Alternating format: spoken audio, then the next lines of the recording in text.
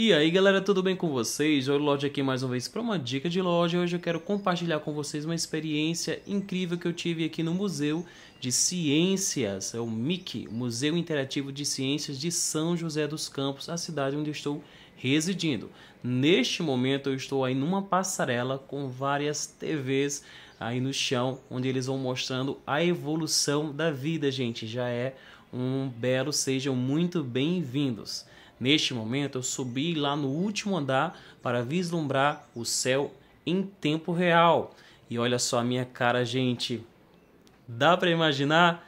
E isso aí é a lua também em tempo real. Além da lua, teve o sol, as estrelas, as constelações. Então, é um museu interativo onde você pode experienciar de verdade muita coisa. E teve foto. Olha o loja de astronauta. Além disso, teve também muitas experiências super divertidas e bem descontraídas. Essa aí foi uma dessas. Olha só essa aqui, gente. Esse aqui é mostrando como é que se formam os ciclones e os furacões dentro dos oceanos. E este aqui é mostrando aqui, ó, o homem bolha. Foi uma das minhas preferidas. Aqui teve um canhão de fumaça e eu atrás de pegar uma delas no ar, gente. Muito engraçado.